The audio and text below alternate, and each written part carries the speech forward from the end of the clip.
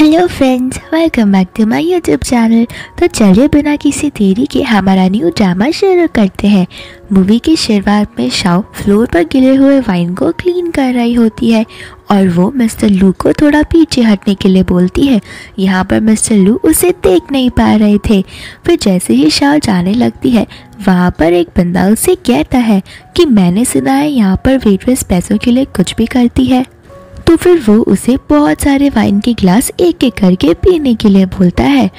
इसके बाद में एक आखिरी ग्लास होता है, जिसमें वो बंदा ड्रग्स मिला रहा होता है। तो मिस्टर लू ये सब देख लेते हैं। फिर वो शाओ को वो ग्लास पीने से मना कर देते हैं और शाओ वहाँ से चली जाती है। लेकिन फिर इसके बाद में हम शाओ को एक फेबुलस रेड मर्सिडीज कार से उतरते हुए देखते हैं और वो अपने कंपनी के अंदर जाती है, जहाँ पर वो अपने एम्प्लॉयज़ को एक सीक्रेट टास्क करने के लिए बोलती है। तो वो लोग बता करते हैं कि ये जो पार्टी है, वो मिस्टर लू ने ऑर्गेनाइज करी है और उनका सारा जो भी पेमेंट होगा वो मिस्टर लू ही पे करने वाले हैं और वो पार्टी का दिन आ ही जाता है, जहाँ पर सभी लोग मिस्टर लू की तारीफ़ कर रहे होते हैं। कि मिस्टर लुक कितने हैंडसम और रिच है। ये तो कॉलेज टाइम से भी बहुत ज़्यादा ब्यूटीफुल हो चुके हैं और उसके बाजू में खड़ी शीन के साथ वो लोग उनको लवर्स मानने लगते हैं और ये भी बोलने लगते हैं कि शाह ने इनके साथ ब्रेकअप कर कर बहुत बुरा किया और इसको बहुत पछतावा होगा ब्रेकअप का। इतने में ही शाह की एंट्री फेट्रेस के ड्रेस में होती है। लोग शाह को देखकर पहचान जाते हैं कि ये तो हमारे कॉलेज की शाह है, जिसके बारे में बहुत तारीफ़ होती थी। अब इसे क्या हुआ? ये यहाँ पर एक मामूली वेट्रेस का काम करती है तो फिर शीन जानबूझ के अपने हाथों से वाइन का ग्लास गिरा देती है। जहाँ पर शाह जब उसे क्लीन करने के लिए जाती है तो मिस्टर लू से बोलने लगते हैं कि मैं अभी भी तुम्हारी हेल्प कर सकता हूँ। तुम्हारे साथ ऐसा क्या हुआ जो तुम्हें वेट्रेस बनना पड़ा? यहाँ पर शाह उसे बोलने लगती है कि मुझे किसी की भी हेल्प की ज़रूरत नहीं है। मैं खुद को सपोर्ट कर सकती हूँ। यहाँ पर मिस्टर लू से समझाने की बहुत कोशिश करते हैं। तो फिर शाह उनसे कहने लगती है कि मैं गंदे लोगों के मुँह नहीं लगती और इतना बोलकर वो वहाँ से चलने जाती है, जहाँ पर उसके पीछे पीछे मिस्टर लू आने लगते हैं। तो फिर शाह अपने एम्प्लॉय से बोलती है कि एक फू नाम का आदमी होगा, उसके ड्रिंक्स में तुम ड्रग्स मिला देना और पुलिस को बुलाकर उसे गिरफ़्तार कर देना। इतने में ही मिस्टर लू पीछे से आ जाते हैं जो शाह को समझाने की कोशिश करते हैं, लेकिन वहाँ पर शाह का बेटा आ जाता है। तो मिस्टर लू को समझ आने लगता है कि शाह की अब शादी हो चुकी है। इसके बाद में मिस्टर लू बोलने लगते हैं कि तुम मेरे साथ ऐसा गुनाह कैसे कर सकती हो? जायजी के साथ शादी भी कर ली। यहाँ पर जायजी उसे बहुत पहले प्रपोज करने आता है, लेकिन मिस्टर लू जायजी से कहते हैं कि शाह सिर्फ़ मेरी ही बंदी है। यहाँ पर लू बोलने लगता है कि ये बच्चा कितना अगली है। तो फिर उसका बच्चा बोलने लगता है कि मैं अगली नहीं हूँ। मेरे डैड इतने हैंडसम है तो फिर मैं भी तो हैंडसम हूँ। और यहाँ पर वो बच्चा उसे चिढ़ाने लगता है। फिर शाह उसे लेके वहाँ से चली जाती है। यहाँ पर मिस्टर लू कार में बैठकर शाह की फ़ोटो देख रहे होते हैं और उन्हें यकीन नहीं हो रहा होता कि उसकी शादी हो गई है। यहाँ पर वो उसकी फ़ोटो कार से बाहर फेंकने की कोशिश करते हैं बट वो ऐसा नहीं कर पाते और बहुत इमोशनल हो जाते हैं। फिर मिस्टर लू जब अपनी कार से जा रहे होते हैं तो वो पार्क में जायशी को देखते हैं, जो किसी और लड़की के साथ होता है। तो फिर वो उसकी फ़ोटो खींचकर बाहर निकलते हैं जहाँ पर वो उसे एक पंच मारते हैं। तो जायशी बोलने लगता है कि तुम्हें क्या चाहिए? तो यहाँ पर मिस्टर लू बोलते हैं कि तुम अपनी वाइफ पे कैसे चीट कर सकते हो? और इतना बोलकर वो वहाँ से निकल जाते हैं। फिर जाओ अपने पेरेंट्स से बात कर रही होती है, जहाँ पर उसके डैड उस पर बहुत चिल्ला रहे होते हैं कि तुम शादी से पहले प्रेग्नेंट कैसे हो सकती हो? यहाँ पर वो अपने डैड को समझाने की बहुत कोशिश करती है, लेकिन वो समझ नहीं पाते। दूसरी ओर जब वो बाहर निकलती है तो मिस्टर लू उसका वेट कर रहे होते हैं। और मिस्टर लू तो वो उनसे पूछती है कि आप यहाँ पर क्या कर रहे हो? तो मिस्टर लू उसे वो फ़ोटो बताते हैं। और उसे जायजी के साथ डाइवोर्स लेने के लिए बोलते हैं। यहाँ पर शाह बोलने लगती है कि मैं उससे डाइवोर्स नहीं लूँगी। तो फिर मिस्टर लू शौक हो जाते हैं। और इतने में ही उन्हें उनके बेटे का कॉल आता है। तो फिर शाह से बोलती है कि मेरे बेटे को एक ऐसा फादर चाहिए जो उसका ध्यान रख सके। लेकिन तुम्हारे पास तो ऑलरेडी एक बेटा है। यहाँ पर लोग बोलने लगता है कि तुम्हारे पास भी तो बेटा है। इसमें कौन सी बड़ी बात है? और इतना बोलकर वो वहाँ से चली जाती है। दूसरी ओर मिस्टर लू अपने सेक्रेटरी को शाओ और जायशी के बारे में पता लगाने के लिए बोलते हैं। यहाँ पर हम मिस्टर लू के बेटे को पानी से खेलते हुए देखते हैं, जो मेड्स को परेशान कर रहा होता है। लेकिन जैसे ही वो अपने डैड को आते हुए देखता है, वो अपने बाल गीले कर लेता है और अपने डैड को बोलने लगता है कि ये मेड्स मुझे परेशान कर रही थी तो उसके डैड उन सभी को वहाँ से फायर कर देते हैं। तो फिर वह अपने सेक्रेटरी को एक बेबी सीटर ढूँढने के लिए कहते हैं। इतने में उसकी मॉम आ जाती है और बोलने लगती है कि तुम्हें बेबी सीटर ढूँढने की क्या ज़रूरत है? तुम्हें उसकी मॉम को ढूंढो। और वो शीन के साथ बाहर आती है और बोलने लगती है कि मुझे शीन बहुत पसंद है तो तुम लोग आपस में बात कर लो। मैं जाती हूँ। यहाँ पर शीनू से बोलती है कि मैं बाजू वाले घर में ही रहती हूँ तो क्या तुम मुझे ड्रॉप कर सकते हो? तो लू बोलने लगता है कि बाजू वाले घर में ही तो रहती हो खुद चली जाओ ना। इसके बाद में जब लू का बेटा अपने स्कूल में होता है तो वो शाह के बेटे से जेलिस फील कर रहा होता है, क्योंकि वो पूरी क्लास में फ़र्स्ट आया होता है। तो वो उसके बारे में बुरा बुरा बात करने लगता है और उसकी मॉम के बारे में भी बोलने लगता है कि तुम्हारी मॉम तो एक वेट्रेस है, जो रोज़ रात को किसी और के बोलने पे बहुत ज़्यादा ड्रिंक करती है। तो फिर शाह के बेटे को गुस्सा आ जाता है, वो उसे तक्का मार देता है। तो फिर लुक का बेटा रोने लगता है इतने में ही वहाँ पर टीचर आ जाती है, जो शाओ के बेटे को चिल्लाने लगती है और बोलने लगती है कि तुम्हें तमीज़ नाम की चीज़ नहीं है क्या? मैं तुम्हारे स्कोर्स कट कर रही हूँ और अब हमारे क्लास में सबसे फ़र्स्ट लड़का है मिस्टर लू का बेटा यहाँ पर शाह का बेटा बोलता है कि ये तो अनफेयर है। यहाँ पर वो टीचर उससे उल्टा जवाब देते हुए बोलती है कि तुम्हारी मॉम हमारे स्कूल को क्या ही दे सकती है? एक बियर की क्लास और इतना बोलकर वो उसकी मॉम को कॉल कर कर बुलाती है। माफ़ी मांगने के लिए फिर वहाँ पर शीन और मिस्टर लू आ जाते हैं। जो उसे पूछने लगते हैं कि बेटा तुम्हें बुली किसने किया? तो फिर वो रोते हुए नाटक करता है और बोलने लगता है कि इसने मुझे मारा। यहाँ पर शीन शाह के बेटे को नीज पर आके माफ़ी मांगने के लिए कहती है और बोलने लगती है कि तुम्हें पता भी है कि तुम्हारा डैड कौन है। तो फिर शाह का बेटा लू की तरफ़ इशारा करता है। लू का बेटा उसके पास जाके और रोने की एक्टिंग करता है, जहाँ पर लू भी उसे माफ़ी मांगने के लिए बोलता है और कहने लगता है कि तुम तो बिल्कुल अपने डैड की तरह हो। झूठे और बुली करने वाले यहाँ पर शीड और लू दोनों के दोनों उस बेचारे के ऊपर भड़क उठते हैं और इतने में ही वहाँ पर उसकी मॉम शाव आ जाती है, जो बोलने लगती है कि तुम में से किसी को शर्म नहीं है क्या? एक लौते बच्चे को तुम लोग बुली कर रहे हो? यहाँ पर मिस्टर लू शाह के हस्बैंड की बुराई करने लगते हैं और कहने लगते हैं कि तुम्हारा बेटा तो बिल्कुल जायशी की तरह झूठा है और लोगों को मारता भी है। तो राघव गुस्सा आ जाता है। वो उसे थप्पड़ मार देती है, लेकिन जैसे ही वो उसे दूसरा थप्पड़ मारने जाती है, लू उसे पकड़ लेता है। फिर वहाँ पर लू का बॉडीगार्ड आता है, जो उसे बोलने लगता है कि मिसेस शाओ, जब स्कूल से ड्रॉप आउट हुई थी तो वो आपके बेटे के साथ प्रेग्नेंट थी। यहाँ पर लू को बिलीव नहीं हो रहा होता तो शाओ बोलने लगती है कि ये तुम्हारा बच्चा नहीं है, ये साई जी का बच्चा है, और मैं तभी उसके साथ भी थी। यहाँ पर शीनो से बोलने लगती है कि तुम इतनी गिरी हुई कैसे हो सकती हो? यहाँ पर मिस्टर लू को लगता है कि उसका बेटा वही है, लेकिन शाह उसे झूठ झूठ बोलने लगती है। जब शाह उसे लेके जाने लगती है तो उसकी ग्रैंड माँ वहाँ पर आ जाती है। फिर उसके बेटे का कान पकड़कर बोलने लगती है कि तुम ही हो, जिसने मेरे बच्चे को बुली किया। तो फिर वो शाह को बॉडीगार्ड से पकड़वा लेती है और उसे थप्पड़े मारने लगती है। तो फिर मिस्टर लू उसे रोक के कहते हैं कि आपने जिसे थप्पड़ मारा है, वो आपका ग्रैंडसन है। यहाँ पर उस औरत को बहुत बुरा लगने लगता है। तो फिर शाह बोलने लगती है कि कौन सी बकवास तुम कर रहे हो? तो मिस्टर लू से बोलते हैं कि मैंने पहले ही तुम्हारे बेटे के बाल ले लिए थे और मैंने उसका डीएनए टेस्ट करवाया और उसमें रिज़ल्ट यही आया है कि ये मेरा बेटा है। इसके बाद में वो ग्रैंडमा उन दोनों को वहाँ से जाने देती है। फिर शाह और उसका बेटा आपस में बात कर रहे होते हैं तो शाह उसे समझाने की कोशिश करती है कि तुम्हारे डैड जो रियल लाइफ में है, वो जायजी ही है। फिर जाओ जब अपने बेटे के लिए पेस्ट्री लेने जाती है तो वो किडनैप हो जाता है एंड यहाँ पर शीनू से बोलती है। कि मैंने तुम्हें जिस लोकेशन पर बुलाया है, वहाँ पर आ जाओ। तो जैसे ही वो आती है, वो उसे अंदर जाने ही नहीं देती।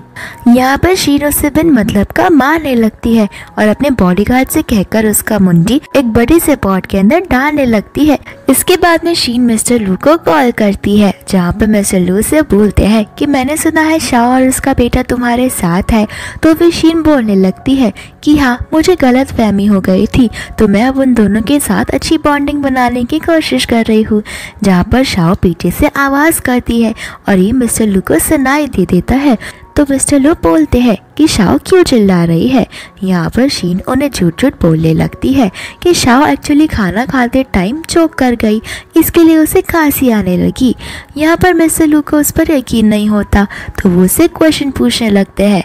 तो शीन उसे बोलती है कि आप मुझ पर ट्रस्ट करिए, वो लोग सही सलामत घर पर आ जाएँगे। फिर जैसे ही कॉल कट होता है तो फिर मिस्टर शाह अपने सेक्रेटरी से बोलते हैं कि तुम शीन का लोकेशन ढूंढो और पता करो कि वो एग्जैक्टली कहाँ पर है। दूसरी ओर मिस्टर लू का सेक्रेटरी वो डीएनए रिजल्ट्स लेके आ जाता है और वो शाह का लोकेशन भी पता कर लेता है। डीएनए लोकेशन में साफ़ साफ़ लिखा होता है कि शाह का जो बेटा है, वो मिस्टर लू का भी बेटा है। फिर दूसरी ओर शीन वो गैरेज का शटर डाउन करवा देती है और उसको सोफा पे बैठा देती है। यहाँ पे वो बोलने लगती है कि तुम यहाँ पर माइजरेबली मर जाओगी और किसी को पता भी नहीं चलेगा। तो उसका बॉडी गार्ड ज़बरदस्ती शाह के मुँह में वो ड्रग्स डाल देता है, जिसकी वजह से वो धीरे धीरे मर सकती है और यहाँ पर वो बाकी के तीनों आदमी उसे परेशान करने लगते हैं और ये सारी चीज़ें शीन रिकॉर्ड कर रही होती है और इतने में ही मिस्टर लू का कॉल आ जाता है। तो मिस्टर लू उसे शाह को कॉल देने के लिए बोलते हैं तो फिर शीन बोलने लगती है कि शाह अभी कॉल नहीं पिक कर सकती। तो फिर मिस्टर लू शीन के साथ जिद करने लगते हैं। जहाँ पर शीन को ज़बरदस्ती शाह को कॉल देना ही होता है तो फिर वो शाह को बोलती है कि अगर तुम्हें तुम्हारा बेटा ज़िंदा चाहिए तो फिर मुझे उसके साथ बात करने के लिए दो। उसके बाद में शाह लू के साथ अच्छे से बात करने लगती है, जहाँ पर शीन वो कॉल वापस से लेकर बोलती है कि अब तो तुम उसकी आवाज़ सुनकर सेटिस्फाइड हो ना? तो फिर लू बोलने लगता है कि तुम तीन साल की बच्ची नहीं हो तो मैं तुम्हें अभी ही बता दूँ कि अगर कुछ भी शाह को हुआ तो तुम ज़िंदा नहीं बचोगी। यहाँ पर शाह गुस्से में आकर अपना फ़ोन फेंक देती है और कहने लगती है कि तुम्हारी वजह से मिस्टर लू आज मुझे नीचा दिखा रहे हैं और मुझे धमकियाँ भी दे रहे हैं। लेकिन इतने में ही मिस्टर लू आकर शाह को बचा लेते हैं। यहाँ पर शीनू से झूठ झूठ बोलती है कि मैंने शाह को मना किया था। ऐसे लोगों के साथ बातें नहीं करने के लिए। तो फिर मिस्टर लू शीन को ही एक थप्पड़ लगा देते हैं और बोलने लगते हैं कि मुझे सब कुछ पता है कि तुम कितनी क्रूअल इंसान हो और अपने सेक्रेटरी को उसे वहाँ से ले जाने के लिए कहते हैं। फिर मिस्टर लू शाह को उठाकर ले जाते हैं। यहाँ पर मिस्टर लू की कार में बैठकर शाओ को वो दबा लगा रहे होते हैं तो शाह को पेन हो रहा होता है। जहाँ पर मिस्टर लू शाह से कहते हैं कि अब तो हमें शादी कर लेनी चाहिए, क्योंकि तुम्हारे बेटे का रियल फादर मैं ही हूँ।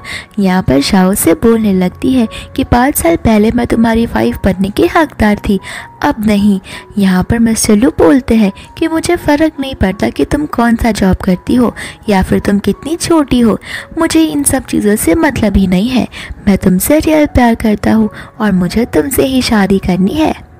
फिर नेक्स्ट डे शाह जब बाइक से अपने ऑफ़िस जा रही होती है तो बहुत सारी गाड़ी वहाँ पर रुकती है और उसमें से बॉडी गार्ड्स बाहर निकलते हैं शाह के लिए एक एक फ्लावर्स लेकर। फिर शाह तंग आकर टर्न लेने लगती है। फिर दूसरी गाड़ी में से निकलते हैं मिस्टर लू यहाँ पर शाह लू को बोलती है कि अगर तुमने गलती से भी मेरी आइडेंटिटी ऑफ़िस में सबको बता दी तो तुम देख लेना, तुम बचोगे नहीं। यहाँ पर मिस्टर लू हंसने लगते हैं और बोलने लगते हैं कि मैं तुम्हें जनरल मैनेजर की पोस्ट पर शिफ्ट कर देता हूँ। यहाँ पर लू वापस से गुस्सा हो जाती है और बोलने लगती है कि तुम्हें इतना कुछ करने की कोई ज़रूरत नहीं है। तुम बस इस बात का ध्यान रखना कि सबको ये ना पता लगे मेरा और तुम्हारा रिलेशन क्या है। तो फिर वो वहाँ से चली जाती है और मिस्टर लू हँसते हुए अंदर जाते अपने सेक्रेटरी से भी बोलते हैं कि ये तुम्हारी स्पेशल मैडम का ऑर्डर है कि किसी को भी ऑफ़िस में ना पता चले कि मेरा और उसका रिलेशन क्या है तो इस बात का तुम ध्यान रखना। जब शाओ उस कंपनी के यहाँ पर पहुँचती है तो फिर उसे उसकी स्कूल फ्रेंड फैंग मिलती है, जहाँ पर वो उसे हेलो बोलती है। फैंग को याद नहीं आ रहा होता कि शाओ कौन है तो शाओ उसे याद दिलाने लगती है, जहाँ पर फ्रेंक उससे बोलने लगती है कि ओ तो वो तुम भी हो, जो हाई स्कूल में ही प्रेग्नेंट हो गई थी और गायब हो गई थी।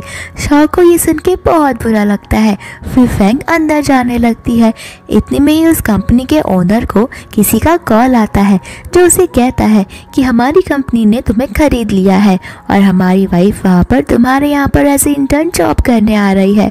तो फिर वो लोग बहुत खुश हो जाते हैं और सोचने लगते हैं कि यहाँ पर प्रेसिडेंट की वाइफ एज इंटर्न आने वाली है तो हमें ये अपॉर्चुनिटी को जाने नहीं देना चाहिए। हमें उनकी वाइफ को बहुत अच्छे से ट्रीट करना चाहिए और अच्छे अच्छे प्रोजेक्ट्स करने चाहिए। तो फिर वो एम्प्लॉय बोलने लगती है कि आज तो यहाँ पर दो दो इंटर्न्स आने वाले हैं तो हमें कैसे पता चलेगा कि कौन प्रेसिडेंट की वाइफ है? तो फिर वो बॉस बोलने लगता है कि तुम साफ़ साफ़ देख सकती हो, एक बहुत ही लग्जरियस कार से बाहर निकली है एंड दूसरी एक सिंपल सी मोटरसाइकिल पर आई है। तो ऑब्वियस ही बात है लग्जरियस कार वाली ही उनकी वाइफ होगी। फिर जब फैंग वहाँ पर जाती है तो वो अपना नाम बोलती है। तो फिर वहाँ का बॉस बोलने लगता है कि, मैडम, आपको प्रचैन करने की कोई ज़रूरत नहीं है। हमें पता है कि आप प्रेसिडेंट की वाइफ हो। यहाँ पर फैंग इस चीज़ का फ़ायदा उठा लेती है और बोलने लगती है कि ओ मैंने तो उन्हें मना किया था आपको बताने के लिए। आप उसे पूछती है कि, तुम पहले से ही शादीशुदा हो। यहाँ पर वो बॉस उससे पूछने लगता है कि, आप इन्हें जानती हो? तो फिर फैंग बोलने लगती है कि ये पता नहीं कौन है। स्कूल में किसी के साथ इसने अफेयर किया और फिर स्कूल वालों ने उसे वहाँ से निकाल दिया। इसके बाद में वहाँ का एम्प्लॉय उसका मज़ाक उड़ाने लगता है। जैसे ही वो लोग फिर जैसे ही वो लोग अपने ओपन ऑफ़िस में जाते हैं वहाँ की एक एम्प्लॉय शाह को कॉफ़ी बना के देने के लिए बोलती है। तो शाह जैसे ही फैंक को कॉफ़ी देती है फैंक उसे बोलने लगती है कि मैं ऐरी गहरी कॉफ़ी नहीं पी सकती। मुझे हाथों से बनी कॉफ़ी चाहिए, वरना मुझे एलर्जी हो जाएगी। तो फिर वो एम्प्लॉय शाह को बोलती है कि तुम यहाँ से थ्री किलोमीटर्स वॉक करके जाओ। वहाँ पे बहुत अच्छी हैंडमेड कॉफ़ी मिलती है। शाह उसे बोलने लगती है कि कि फैंग के तो हाथ पैर ठीक है। तो अगर उसे पीनी होगी तो वो खुद लेकर आएगी। मैं यहाँ पर जॉब करने आई हूँ। किसी को कॉफ़ी सर्व करने नहीं। एम्प्लॉय उसके साथ बहस करने लगती है। शाह को गुस्सा आने लगता है। लेकिन वो सोचती है कि अगर वो ज़्यादा बोलने लगेगी तो उसकी आइडेंटिटी रिवील हो जाएगी। इसलिए शाह चुपचाप जाकर कॉफ़ी लेकर आ जाती है, जब शाह फैंग को कॉफ़ी देती है तो वो कॉफ़ी फैंग चार पुछ के गिरा देती है और सभी लोग वहाँ पर उसे सिंपैथी देने के लिए आ जाते हैं। फैंग उसे बोलने लगती है कि क्या तुम्हें पता भी है ये कितनी महँगी और रिच ब्रांडेड ड्रेस है? मैंने ये मिशेल से मंगवाई थी। यहाँ पर शॉप बोलने लगती है कि मुझे तो नहीं याद कि मैंने ये ड्रेस कब तैयार की थी। और ये चीज़ शाओ मन में बोल रही होती है। फिर शाओ फैंग को बोलने लगती है कि ये ड्रेस तो मिशेल जैसी लगती ही नहीं, बिल्कुल फेक लगती है। यहाँ पर फैंग उस पर परख जाती है। तो शाओ अपनी चीज़ें क्लियर बोलने लगती है कि मिशेल की ड्रेस में, कि मिशेल की ड्रेस में एक स्पेशल तरीके की स्टिचिंग होती है। और वो तो मुझे यहाँ पर दिख ही नहीं रही। तो फिर फैंग बोलने लगती है कि तुम जैसी अनग्रेजुएटेड लोगों को ये चीज़ें कैसे पता होंगी? तुम अपना मुँह बंद रखो तो ही बेहतर होगा। इतने में वहाँ पर वहाँ का बॉस आ जाता है। जहाँ पर फैंगो बॉस को बोलने लगती है कि शाह को लगता है कि मेरी ड्रेस फेक है और यहाँ पर वो मुझे सुना रही है। तो फिर उसका बॉस शाओ को फेंग से माफ़ी मांगने के लिए बोलता है। तो शाह उन सबको समझाने लगती है कि ये मिशेल की ड्रेस हो ही नहीं सकती। मैं लिख के दे सकती हूँ कि ये फेक है और वो एक फ़ोटो प्रूफ भी बताती है, जहाँ पर लोगों को उससे बिलीव नहीं हो रहा होता। तो फिर शाह एक बहुत अच्छा प्लान बनाती है और फैंग को बोलने लगती है कि ठीक है, मैं मानती हूँ मेरी गलती है। तो क्यों ना तुम प्रेसिडेंट के साथ हमारी मीटिंग करवाओ, ताकि हमें पता चले कि तुम फेक वाइफ हो या फिर रियल यहाँ पर फैंक सोचने लगती है और इतने में ही वहाँ का बॉस भी बोलने लगता है कि हाँ तो मीटिंग करवा दो ना, बहुत अच्छा होगा। यहाँ पर फैंग कुछ बोल नहीं पा रही होती तो वहाँ की एम्प्लॉय बोलने लगती है, लगता है कि तुम हमें नीचा दिखा रही हो। यहाँ पर फैंग बोलने लगती है कि ऐसा कुछ नहीं है, मेरी फैमिली बस बहुत ज़्यादा बुरी है। तो फिर उसका बॉस कुछ बोलने ही वाला होता है, इतने में फैंग बोल देती है कि ठीक है नेक्स्ट वीक में तुम सबको मेरे विला ले चलूँगी।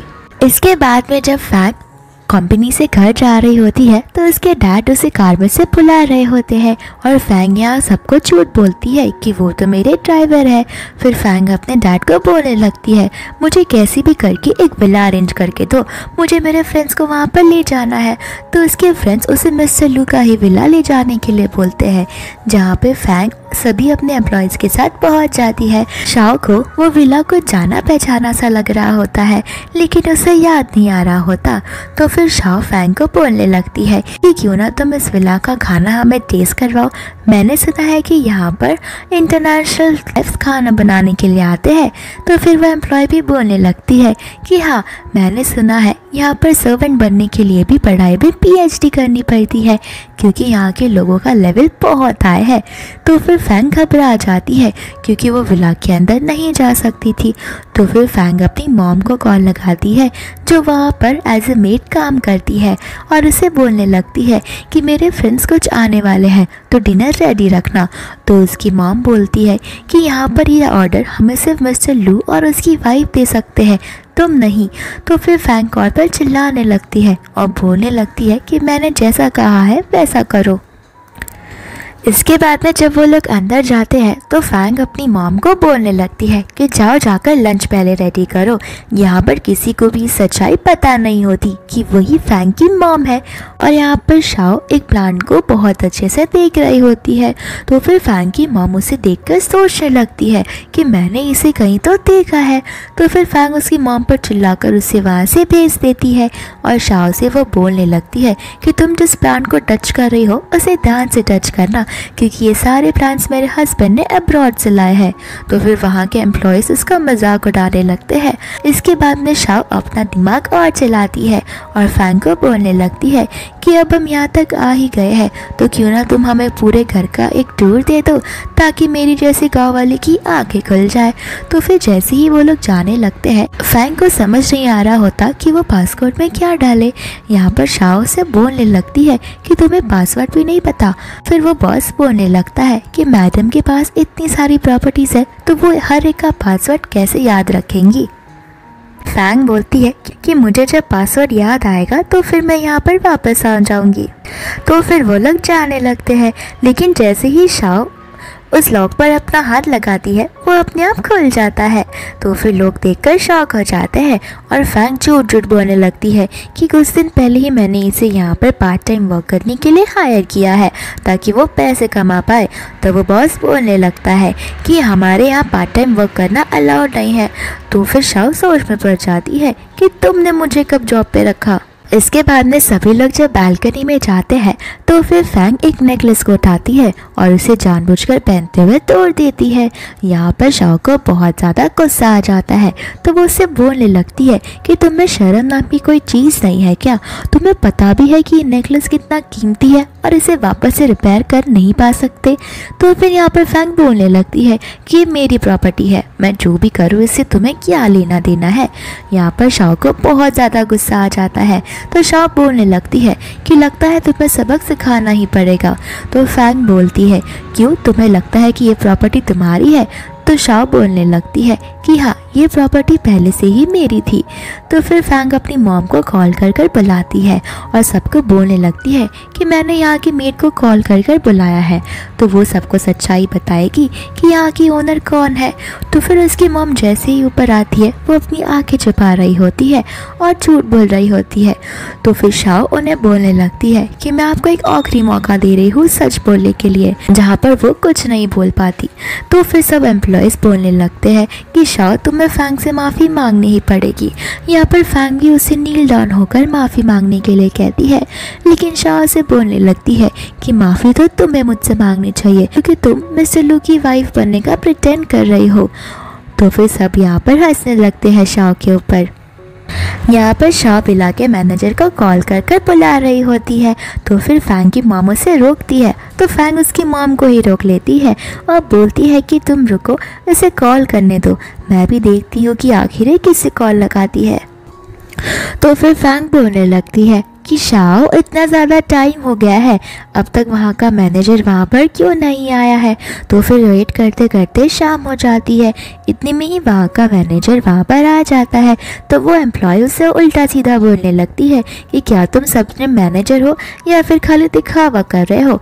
तो वो मैनेजर उसे थप्पड़ मार देता है और इतने में ही फैंग की मॉम नीचे बैठकर रोने लगती है और वो एम्प्लॉय गिड़गिड़ाते हुए फैंग के पास जाती है और बोलने लगती है कि तुम इसका कुछ तो करो, इसने मुझ पर हाथ उठाया है। तो फिर फैंग भी गुस्से में उस पर हाथ उठा देती है और वहाँ से जाने लगती है। तो फिर वो मैनेजर उससे रोक कर बोलता है कि तुमने जो नेकलेस डिस्ट्रॉय किया है, वो मिस्टर लू की वाइफ का था। यहाँ पर शाओ धीरे से जाकर उस मैनेजर के कानों में बोलने लगती है कि मुझे मेरी आइडेंटिटी अभी रिवील नहीं करनी। तो फिर वो मैनेजर बोलने लगता है, मिस फैंग से गलती हो गई। इसके बाद में फैंग वहाँ से भाग जाती है और सभी लोग वहाँ से चले जाते हैं। यहाँ पर फैंग की मॉम सारी सच्चाई शाह को बता रही होती है। बोलने लगती है कि मैं ये जॉब नहीं छोड़ सकती। मैं फैंग की डाउरी के लिए पैसे जमा कर रही हूँ। तो फिर शाह भी उसे बोलती है कि तुम्हें मेरी रियल आइडेंटिटी बताने की ज़रूरत नहीं है। तुम यहाँ से जा सकती हो। यहाँ पर सभी लोग फैंग से पूछने लगते हैं कि वहाँ का मैनेजर तो शाह के साथ बहुत अच्छे से बिहेव कर रहा था और वो आपसे ज़्यादा रिस्पेक्ट तो उसको दे रहा था। और यहाँ के फिंगरप्रिंट्स में पासवर्ड भी शाह का ही है। तो फिर फैंग उन्हें झूठ झूठ बोलने लगती है कि मुझे आप सभी को सच बताना ही होगा। असल में शाओ और उस मैनेजर का चक्कर चल रहा है। इस वजह से मैं कुछ बोल नहीं पा रही थी और यहाँ पर सभी लोग शाओ पर गुस्सा करने लगते हैं और उसके पीठ पीछे उसकी बुराई करने लगते हैं। इसके बाद में शाह जब नेक्स्ट डे ऑफ़िस में आती है तो वो एम्प्लॉय जानबूझकर उसके ऊपर पानी फेंक देती है और उसका फ़ोटो निकालने लगती है और वीडियो में भी बोलने लगती है कि देखो ये कैसे लड़कों को अपनी जान में फंसाती है। तो फिर फैंग उठकर बोलने लगती है कि तुम्हें ऐसे लोगों से दूर रहना चाहिए। क्या पता इसमें कोई इन्फेक्शन हो? तो फिर वो एम्प्लॉय एक कीड़े मारने दवा उस पर स्प्रे करने लगती है। तो फिर शाह वो लेकर उसके ऊपर वापस से स्प्रे कर देती है। तो फैंग यहाँ पर गुस्सा हो जाती है। उतने में वहाँ पर उनका बॉस आ जाता है। तो फिर वो एम्प्लॉय अपने बॉस से कंप्लेन करने लगती है। तो उसका बॉस शाह को चिल्लाने लगता है और जल्दी से चेंज करके आने के लिए बोलता है। इसके बाद में मीटिंग में सभी लोग एक इंपॉर्टेंट प्रोजेक्ट के बारे में डिस्कस कर रहे होते हैं, जो होता है मिस्टर वैंग का। तो फिर वहाँ के एम्प्लॉयज़ मिस्टर वैंग के पास जाने के लिए रेडी ही नहीं होते, क्योंकि इस बंदे की बहुत अलग अलग फैंटेसीज होती है। तो फिर यहाँ पर फैंग बॉस को बोलने लगती है कि क्यों ना हम हमारी न्यू इंटर्न शाओ को वहाँ पर भेज दे। तो शाओ वहाँ पर आती है, जहाँ पर बॉस उसे वो न्यू टास्क देते हैं। फिर जब वो मीटिंग ख़त्म हो जाती है तो फैंग उसे बोलने लगती है कि ऑल द बेस्ट बैट में बॉल अच्छी तरीके से प्रिपरेशन करना और यहाँ पर शाह को कुछ समझ नहीं आ रहा होता। तो फिर शाह जब वहाँ पर जा रही होती है तो मिस्टर लू अपना असिस्टेंट से पूछते हैं कि आगे शाह के बाजू में कौन है? तो फिर उसका असिस्टेंट बताने लगता है कि वो मिस्टर वैंग का असिस्टेंट है। तो फिर मिस्टर लू अपने असिस्टेंट को बोलते हैं कि जो भी रूम में शाह एंटर कर रही है ध्यान रखना कि वो रूम सेफ्टी से भरा हो। तो जैसे ही शाह वहाँ पर बैठती है और मिस्टर वैंग को वो सारे इंस्ट्रक्शंस दे रही होती है तो मिस्टर वैंग उसे बुरी तरीके से देख रहे होते हैं। तो फिर शाह का ध्यान मिस्टर वैंग पर चला जाता है।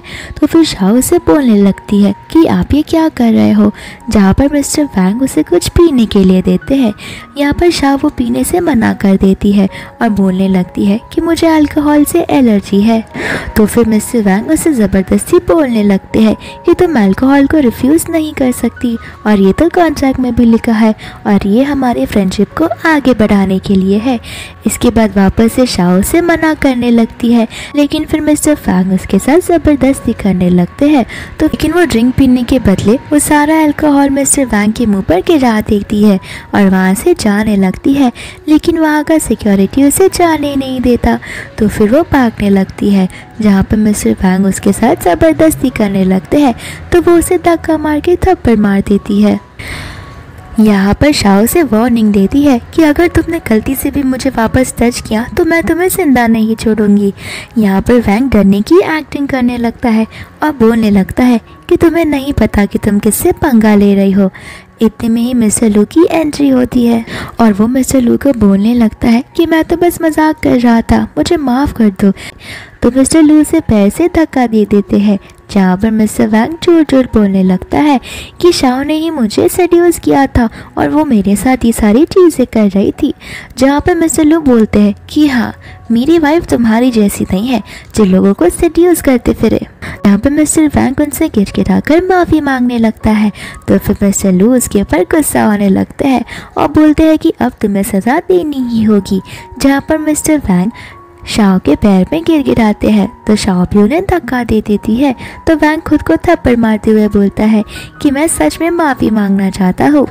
जहाँ पे मिस्टर वैंग को मिस्टर लू के बॉडीगार्ड लेके चले जाते हैं और फिर मिस्टर लू वहाँ से शाह को लेके घर जाते हैं। जहाँ पे शाह मिस्टर वैंग से नाराज़ होती है और मिस्टर वैंग शाह से उसका अटेंशन चाहते हैं और बार बार उसे बुलाते रहते हैं। शाओ मिस्टर लू को थैंक यू बोलती है उसकी जान बचाने के लिए। यहाँ पर वो बोलने लगता है कि इसके लिए मुझे थोड़ा रिवॉर्ड तो मिलना ही चाहिए, जहाँ पर वो उससे गालों पर किस माँगता है। तो शाओ वहाँ से उठकर चली जाती है। यहाँ पर शाह जब ऑफ़िस में आती है तो वो बोलने लगती है कि मिस्टर वैंग के साथ सारे कॉरपोरेशन बंद कर दिए गए हैं। यहाँ पर सभी लोग उस पर भड़कने लगते हैं और वहाँ का बॉस भी उसे बोलता है कि तुम अपना सामान पैक कर कर अभी के अभी यहाँ से निकल जाओ। फिर बाद में शाह बोलती है कि क्या तुमने न्यूज़ नहीं देखा कि उसने क्या किया है? तो फिर सभी लोग वो न्यूज़ देखकर शौक हो जाते हैं। तो फिर बॉस बोलने लगता है कि कुछ भी हो, हमें तो लॉस हुआ है। यहाँ पर शाह बोलने लगती है कि भले ही हमने ये डील को लूज़ कर लिया है, लेकिन हम लू कंपनी के साथ में गुलाब कर सकते हैं। तो फिर सभी लोग बोलने लगते हैं कि लू कंपनी तो बहुत बड़ी है, हम उसके साथ कैसे गुलाब करेंगे? यहाँ पर फैंक बोलने लगती है कि तुम झूठ बोल रही हो। लू ग्रुप कभी भी हमारे साथ कलैप कर ही नहीं सकते। यहाँ पर बॉस भी उसे बोलने लगता है कि तुम झूठ बोल रही हो। लेकिन शाह सबको वो एग्रीमेंट देखने के लिए बोलती है, जिसमें लू के सिग्नेचर्स भी होते हैं और सभी लोग बहुत ज़्यादा खुश हो जाते हैं। तो फिर फैंक उस डॉक्यूमेंट को लेकर ज़मीन पे फेंक देती है और बोलने लगती है कि ये तो एक फेक कॉन्ट्रैक्ट है। तो फिर शाह उस पर गुस्सा हो जाती है। फिर शाह बोलने लगती है कि मैं इस ग्रुप के प्रेसिडेंट की वाइफ हूँ और तुम बस एक मामूली इंटर्न हो तो तुम इतना बड़ा काम कर ही नहीं सकती। और सभी को लगने लगता है कि वो कॉन्ट्रैक्ट फेक है। यहाँ पर उसका बॉस उसे थप्पड़ मारता है और उसे बाहर निकालने की कोशिश करता है। इतने में ही वहाँ पर लू का असिस्टेंट आता है, जो बोलने लगता है कि मैं मिसेस शॉ के साथ हमारे आगे की कोलैबोरेशन के बारे में बात करने आया हूँ। जहाँ पे उनको ये सब फेक लगने लगता है तो वो बोलने लगता है कि मुझे शॉ के साथ डिस्कशंस करने हैं, लेकिन लगता है अब वो पॉसिबल नहीं है। तो फिर शाह आकर बोलने लगती है कि देखा, मैंने कहा था ना कि ये कॉन्ट्रैक्ट सच है। तो फिर बॉस वो कॉन्ट्रैक्ट उठाकर बोलने लगता है कि क्या सच में ये कॉन्ट्रैक्ट रियल है? तो फिर वो आदमी बोलने लगता है कि क्या तुम्हें मिस्टर लू के सिग्नेचर्स पर शक है? तो फिर बॉस बोलने लगता है कि एक मामूली सी इंटर्न ने मिस्टर लू का साइन ले लिया। ये चीज़ सोच के मैं हैरान हूँ, इसलिए मुझे यकीन नहीं हो रहा था। यहाँ पर शाह की काम का सारा क्रेडिट फैंग लेने लगती है। यहाँ पे वो मैनेजर फैंग झूठ झूठ बोलने लगता है कि फैंग ही उसकी वाइफ है। तो फिर शाह बोलने लगती है कि तुम इतना फेक और झूठ कैसे बोल सकते हो? यहाँ पे फैंग भी उसके झूठ के साथ झूठ बोलने लगती है। तो फिर शाह बोलने लगती है कि झूठ बोलने से पहले तुम्हारे मुँह कतराते नहीं है क्या? तो फिर सभी एम्प्लॉयज़ उसकी तारीफ़ करने लगते हैं और शाह की बुराई करने लगते हैं और शाह हंसने लगती है। तो फिर वो मिस्टर वैंग को बोलती है कि क्योंकि अभी प्रोजेक्ट मेरे अंदर है तो क्या मैं उसे डिज़ाइन कर सकती हूँ? तो मैनेजर बोलने लगता है कि अब जैसा चाहो वैसा ही होगा। दूसरी ओर फैंग वो प्रोजेक्ट आकर शाह को देने लगती है। तो शाह नाटक करने लगती है कि उसे फैंग दिखी नहीं और उसने फैंग की कोई बात ही नहीं सुनी। तो फैंग उस पर भड़कने लगती है। तो फिर शाह नाटक करने लगती है कि ओ प्रेसिडेंट की वाइफ मुझे माफ़ कर दो, मैं इतने बड़े बड़े प्रोजेक्ट्स नहीं करती। फैंग गुस्से में आकर वहाँ से चली जाती है। फिर फैंग जब वापस आती है तो वो वापस ही उसे वो प्रोजेक्ट देने की कोशिश करती है। तो शाह उसे साफ़ साफ़ बना कर देती है कि तुमने सभी के सामने ये प्रोजेक्ट लिया है तो तुम इसे ही करोगी। इतने में वहाँ पे बॉस आने लगते हैं, जो उसे बोलने लगते हैं कि तुम्हें मिसेस फैंग की मदद ज़रूर करनी चाहिए, वो तुम्हें इतना बड़ा मौका दे रही है। फिर फैंग वापस से बोलने लगती है कि मैं मिसेस लू हूँ और इसके कारण ये तुम्हारी ड्यूटी बनती है कि तुम मुझे हेल्प करो और मैं जैसा बोलूँ वैसा करो। यहाँ पर शाह उसे कुछ नहीं बोलती। दूसरे दिन फैंग और उसकी वो एम्प्लॉय शॉपिंग करने के लिए जाती है, जहाँ पर शाह भी होती है। फिर फैंग वहाँ की एम्प्लॉय को बोलती है कि मुझे सबसे लेटेस्ट कलेक्शन देखने हैं और सबसे एक्सपेंसिव वाले। तो फिर वहाँ की एम्प्लॉय बोलने लगती है कि हमारे यहाँ पर जो भी सबसे लेटेस्ट है, उसे आप बिना ट्राई किए खरीदना होगा। अगर आप ट्राई उसे कर रहे हो तो उसे आपको पक्का बाय करना होगा। आप उसे ऐसे छोड़ नहीं सकते। उनकी फ्रेंड बोलने लगती है कि तुम्हें पता भी है कि तुम किससे बात कर रही हो? ये विश्व प्रेसिडेंट की वाइफ है। तो फिर ये सुन के वो एम्प्लॉय शौक हो जाती है। फिर उसे चीज़ें बताने लगती है। फ़ैन जब शाह को वहाँ देखती है तो वो एम्प्लॉय को उसे वहाँ से निकालने के लिए कहती है। तो वो एम्प्लॉय उसे निकालने लगती है। तो शाह उसे बोलती है कि, तुम्हें पता है ना, तुम रूल्स को ब्रेक कर रही हो। तो वो एम्प्लॉय बोलने लगती है कि, हम पुअर लोगों की बातों में ध्यान नहीं देते और उन्हें एंटरटेन भी नहीं करते। और अगर ऐसे लोग यहाँ पर होंगे तो स्टोर का एनवायरनमेंट खराब हो जाएगा। तो फिर शाह उस पर भटक जाती है और बोलने लगती है कि क्या मैं हेडक्वार्टर्स में तुम्हारी कंप्लेन कर दूँ?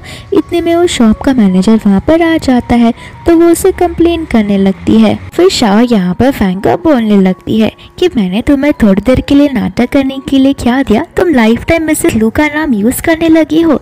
अगर तुम सच में प्रेसिडेंट की वाइफ हो, क्यों ना ये दोनों स्कर्ट तुम बाय कर लो? तो फिर हमें सब कुछ पता चल जाएगा। यहाँ पर फैंक झूठ बोलने लगती है कि भले ही मेरा कार्ड अनलिमिटेड है, लेकिन मैं ऐसी छोटी मोटी चीज़ें यहाँ से नहीं लूँगी, जहाँ पर मेरा झगड़ा हुआ हो। तो फिर वो वहाँ से जाने लगती है तो वहाँ का मैनेजर फैंक को रोक देता है और बोलने लगता है कि, मैम, हम अभी इसे यहाँ से बाहर निकालते हैं। तो फिर वहाँ का मैनेजर शाह को बाहर निकलने के लिए बोलता है और इसे नीचा दिखाने लगता है। फिर वहाँ पर फ्रैंक की फ्रेंड भी हंसने लगती है। और किसी को तो कॉल कर कर बोलती है कि यहाँ के शॉपिंग मॉल को हमेशा के लिए ब्लैक लिस्ट कर दो और सभी को लगने लगता है कि वो बस मज़ाक कर रही है और दिखावा कर रही है। तो फिर वहाँ के एम्प्लॉय सिक्योरिटी गार्ड को कॉल कर कर बुलाती है।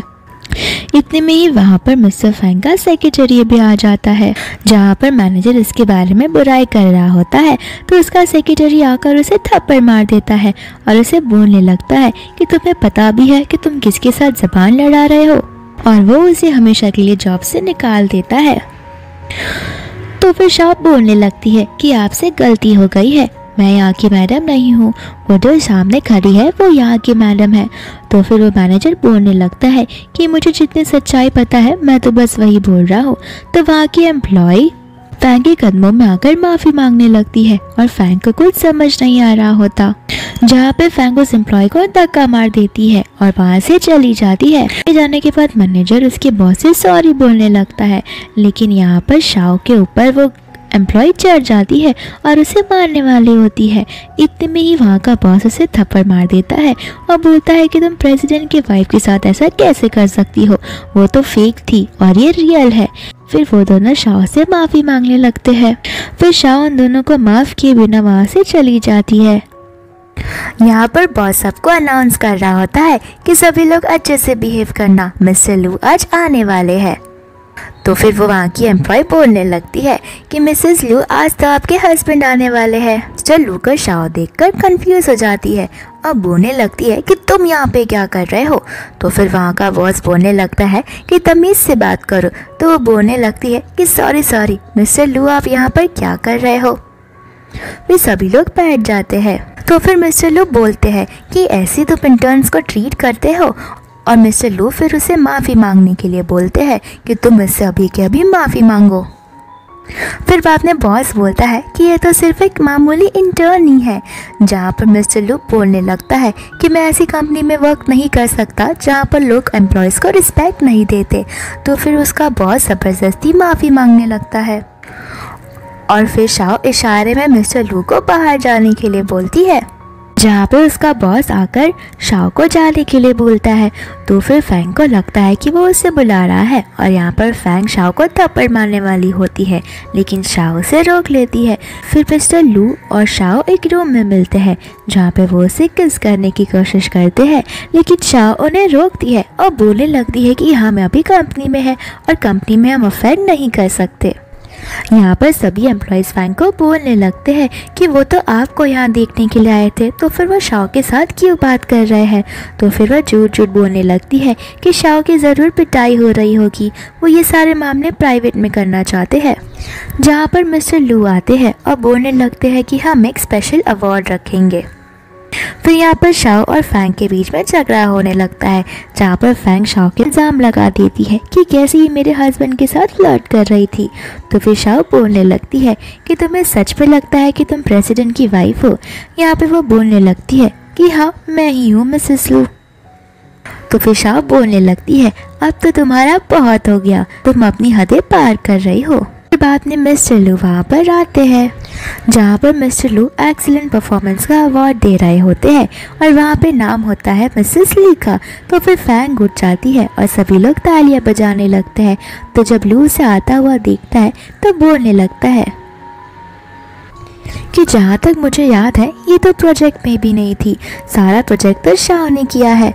तो फिर मिसेस वैंग तो फिर मैनेजर वैंग झूठ झूठ बोलने लगता है। और इसके बाद में सभी के सामने सारी सच्चाई सामने आ जाती है कि रियल वाइफ मिस्टर लू की शाह ही है, ना कि फैंग तो सभी लोग फैंग पर इल्ज़ाम लगाने लगते हैं कि फैंग की वजह से हमने ये सारा झूठ बोला और फैंग ने हमें विक्टिम बनाया। यहाँ पर मिस्टर लू, उन दोनों को फायर कर देते हैं। इसके बाद में मिस्टर लू शाह को रिंग के साथ प्रपोज करते हैं और अपने कंपनी के 50 पर 51 परसेंट शेयर्स भी देते हैं और इसी के साथ ये मूवी यहाँ पर ख़त्म हो जाती है।